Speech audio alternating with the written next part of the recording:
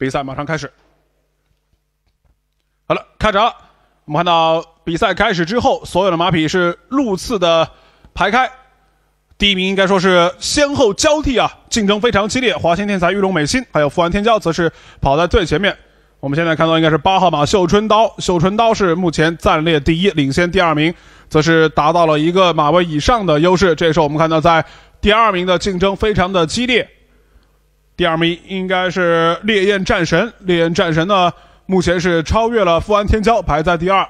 而富安天骄则是在第三名，第四名则是十号马上官大梦。比赛开始，应该说是弯道已经进行了一大半了。这个时候，绣春刀还是在最前面，马上弯道转直道。这个时候，绣春刀依旧是排在第一，不过在他身后，马匹竞争非常的激烈，差距非常的小。这个时候，烈焰战神和富安天骄越追越近，十号马上官大梦的速度也很快。这个时候，我们看到烈焰战神有赶超绣春刀的趋势，烈焰战神和绣春刀两匹马在竞争，而在他们身后，上官大梦的竞争也非常激烈。这个时候。烈焰战神，烈焰战神超过了对手，最外档上官大梦有没有机会？最后时刻完成超越上官大梦，在最后一百米不到的距离上完成了对所有对手超越，率先冲过了终点线。